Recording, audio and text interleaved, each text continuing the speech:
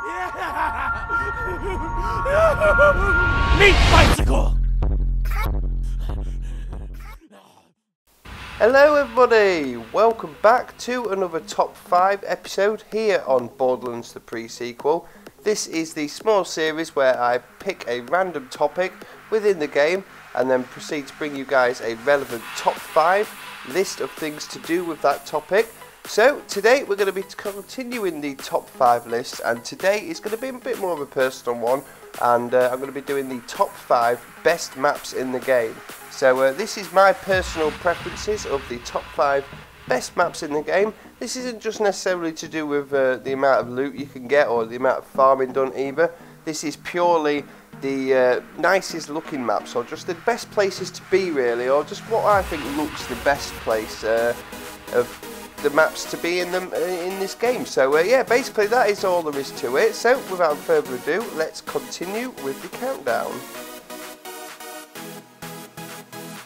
So, starting off, we are at number 5 and we are in sub-level 13. Now, this is a nice little map anyway. There's a couple of torks running about, things like that. Not too many enemies about.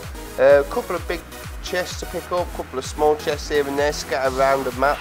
Uh, really nice, but the main reason I like this map so much is that side mission where you uh, come here and you've got to actually fight the ghosts with the little uh, weapon so it's like a little Ghostbusters easter egg. All in all really good map and uh, yeah I really like this one so it's my number five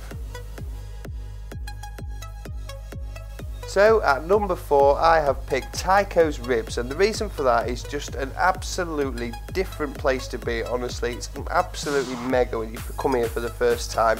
If you go into the main area, it's just a massive circular way of getting right to the bottom of the map.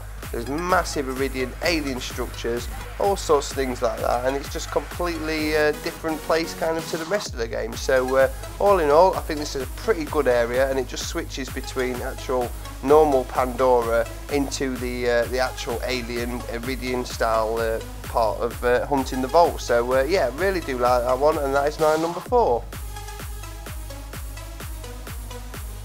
At number three, we are in research and development, and uh, I do like this map just for the fact that it's got quite a few little bosses on there to farm, quite close together. Good little farming routes. I do like the animals within the uh, Borderlands. It's a bit like the Wildlife Exploitation Preserve from Borderlands 2, this map. So, uh, yeah, all in all, research and development, many different areas, different amount of animals about quite a lot of loot lockers and chests in this whole area and of course there's a little old Benjamin Blue as well, a little uh, mini loot guy. Uh, but yeah, all in all just a nice place to be really. So number three is research and development.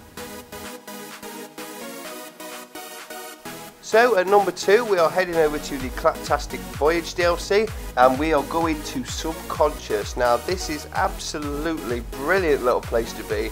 Who wouldn't want to be in Claptrap's mind? It's a crazy, crazy place. We're up in the clouds, there's ramps going everywhere, there's little different areas, there's uh, even a piece of Claptrap's mind where you get to see loads of little blocks stacked up with teddy bears surrounding them all saying different things. You've also got two little good bosses at the end called Despair and Self-Loathing, as well as the Sponks as well, all in one little brilliant loot-filled farming route. And uh, there's two split levels as well, so there's the top level, like the lighter part of his uh, imagination, then there's a darker level down below with a tunnel and loads of different places, and it's just all in all a really crazy, wacky place to be. And uh, it almost made it to number one, but uh, at number two, it's Subconscious. So for number one, I couldn't decide between the two, but I am going to merge them both together. And uh, once again, it's from the DLC, and uh, we are in Cluster Overlook and uh, Cluster Pandora as well. Now these are little maps uh, within the Claptastic Voyage DLC, we're inside of Claptrap's mind, where um, it's trying very well to remember uh, the old uh, Highlands Overlook and Firestone from Borderlands 1. He did a better job, in my opinion, of remembering um, Overlook than he did Firestone. Firestone, the only thing I really recognise is the uh, Marcus's shop uh, and Zed's place as well. But uh, yeah, I, reason I picked this is just because I love Borderlands 2 that's so much, uh, such a brilliant game.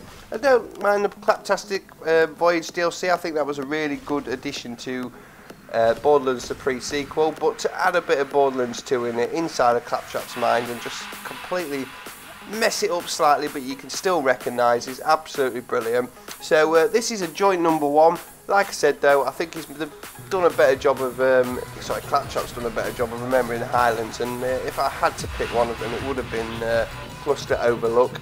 But uh, these two were just a really good way of going back down memories lane and uh, returning to a little bit of Borderlands 2 while playing the pre-sequel. So that is my number one.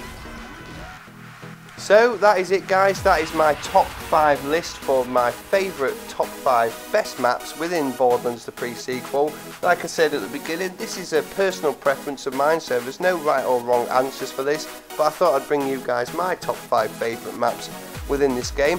If you agree, let me know. If you disagree, let me know what order you'll put that in and uh, if there's any more top 5s you want me to do, please feel free to let me know down in the comments and I will certainly look into it. Uh, but yeah, that is top 5 best maps within Borderlands pre-sequel. Thanks for watching everyone, and I will see you guys in the next one.